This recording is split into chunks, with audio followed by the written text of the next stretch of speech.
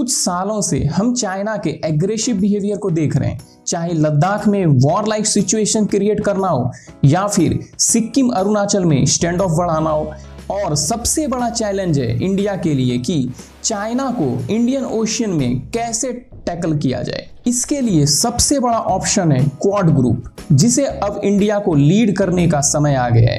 क्या है क्वाड और क्वाड कैसे चाइना को पूरे तरह से रोक सकता है? यह सब आपको जानने को मिलेगा इस वीडियो में। क्वाड जिसे क्वाडिलेटरल सिक्योरिटी डायलॉग कहा जाता है, यह एक इनफॉर्मल स्ट्रेटेजिक डायलॉग ग्रुप है, जिसमें अभी भारत, अमेरिका, जापान और ऑस्ट्रेलिया शामिल है। इस ग्रुप को बनाने का आइडिया जापान के प्रधानमंत्री सिंजो आबे ने 2007 में दिया था। लेकिन यह ग्रुप इतना आगे नहीं बढ़ पाया। क्योंकि ऑस्ट्रेलिया पे चाइना का हैवी प्रेशर के कारण और इंडिया भी उस समय चाइना के अगेंस्ट कोई एल में खुल के शामिल नहीं होना चाहता था। यह ग्रुप एक्चुअल में थोड़ा एक्टिव 2017 में हुआ, जहाँ पे एक न्यू स्ट्रेटेजी बनाया गया कि कैसे इंडियन ओशियन से लेके पैसिफिक तक फ्री नेविगेशन होना चाहिए। इसका मेन वजह था कि चाइना कई सारे आर्टिफिशियल आइलैंड बना के फ्री नेविगेशन को रोक रहा था। देखो, यह इतना आसान नहीं है कि कोई भी देश पूरे तरह से चाइना के अगेंस्ट खड़ा हो जाए, क्योंकि दुनिया के ज़्यादातर देश कहीं ना कहीं चाइना के ऊपर डिपेंड है। जैसे आप ऑस्ट्रेलिया को देखो तो ऑस्ट्रेलिया का टोटल एक्सपोर्ट का एक तिहाई सिर्फ़ चाइना में होता है। ऑस्ट्रेलिया के यूनिवर्सिटी को सबसे ज़्यादा फंडिंग चाइना और चाइनीज़ स्टूडेंट से होता है। लेकिन कोरोना वायरस के बाद से ऑस्ट्रेलिया पूरे तरह से चाइना के खिलाफ खड़ा हो चुका है। वहीं अगर आप जापान को देखो तो जापान का लेकिन जापान कभी भी नहीं झुकता चीन के सामने।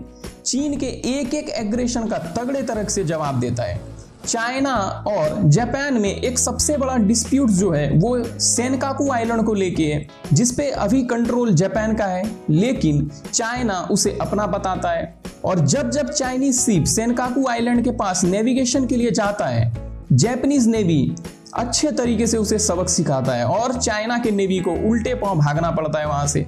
आप अगर अमेरिका को लो तो देखो, चाइना का इकोनॉमी अमेरिका पे ही डिपेंड करता है। चाइना दुनिया में सबसे ज़्यादा एक्सपोर्ट अमेरिका को करता है। टोटल एक्सपोर्ट का करीब 20 फ़ीसदी अमेरिका में होता है।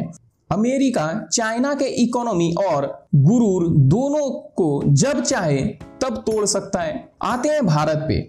आखिर क्या बात करें भारत को लेके? भारत इतना बड़ा और पावरफुल कंट्री होके भी एक भीगी बिल्ली की तरह बन के बैठे रहता है और डरता रहता है कि चाइना हम पे अटैक ना कर दे, हमारे साथ ट्रेड खराब ना कर दे। लेकिन भारत को यह सोचना चाहिए, चाइना का इकोनॉमी हमारे पे ज़्यादा डिपेंड करता है कंपेयर टू इंडियन इकोनॉमी जो चाइना पे डिपेंड करता हो। चाइना के टॉप टेन एक्सपोर्ट कंट्री में भारत आता है। और देखो तो हर देश के लिए सिक्योरिटी सबसे इंपॉर्टेंट होना चाहिए। चाइना हमें ऑलमोस्ट हर तरफ़ से घेर चुका है। पूरे दुनिया में चाइना का सबसे एग्रेसिव पॉलिसी इंडिया को लेके है। चाहे वो समुद्री सीमा को लेके हो या फिर जमीनी सीमा, हर तरफ़ से चीन भारत को घेरते जा रहा है। इसी वजह से इंडिया को चाइना के खिलाफ सबसे ज़्यादा एग्रेसिव होने की ज़रूरत है।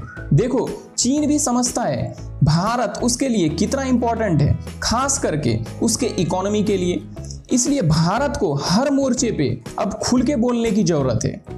चीन ने पहले साउथ चाइना सी में धीरे धीरे एक्सपेंशन किया, पहले एक आर्टिफिशियल बनाया और अब तो पूरा साउथ चाइना सी को अपना ही मानता है। चाइना का प्रेजेंस अब इंडियन ओशन में बहुत तेज़ी से बढ़ रहा है, जो भारत के लिए एक गंभीर खतरा है, क्योंकि भारत का एनर्जी का ज़रूरत और सामान सब इसी रूट से होके जाता है।